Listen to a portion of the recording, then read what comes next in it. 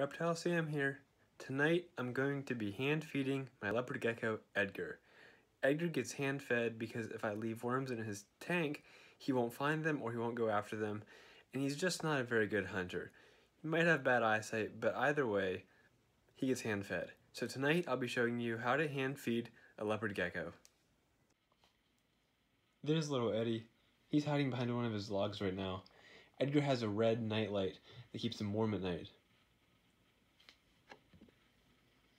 When I hand feed Edgar, I use this pair of blue plastic tongs like this, and you see he's already excited because he, he sees them, he knows it's food time. And Edgar usually gets worms and, well, mealworms and waxworms. And I have um, this homemade little dish right here I use for the mealworms. So this is the substrate they, they come in along with oatmeal. And if you look really closely, can see some, some cocoons. And I always feed him the, the cocoons first because those are the ones that will turn into beetles sooner.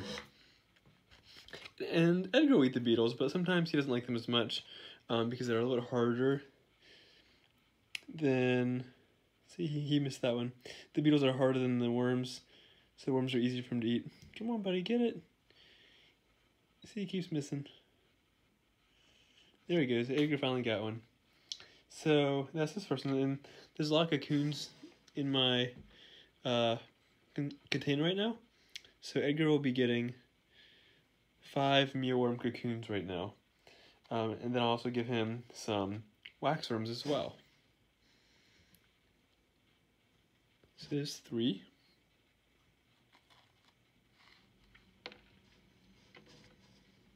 Right here, buddy. There we go. Let's give him one more cocoon for now.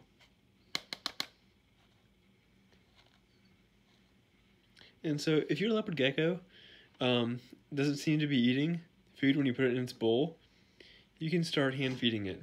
And it's more effort than just putting the worms or crickets or roaches or whatever you're feeding your gecko in a bowl.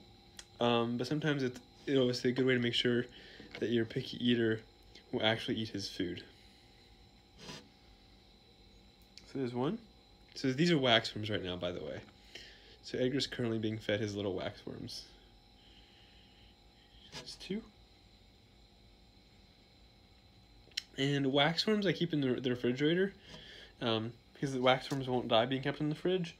Um, they're okay to be kept at low temperatures. I mean, obviously you don't want to freeze them, but they can be kept at low temperatures and my mealworms I don't I do not refrigerate. So the waxworms were shipped in this little blue tub right here, and I keep them in the same tub that they were shipped in. So let's give him two more. That's one. And let's give him one more waxworm for the evening. Boop, there he goes. Num num num.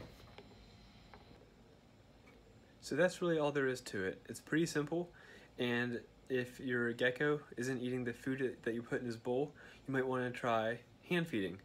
These blue tweezers, um, I think were one dollar, and I ordered them along with uh, his food one time. And I order from AB Dragons, I order from Fluker Farms, Rainbow Mealworms, and they each have different pricing, uh, different times of the year, so I check all three whenever I need to make an order of mealworms and waxworms as well as superworms for Bossk. So if you have any questions, let me know. Uh, that's why I'm here is to help uh, with any kind of funky little reptile problems we have and to help spread the word about how awesome these little guys are. So I'm Reptile Sam, and until next time, have a good one.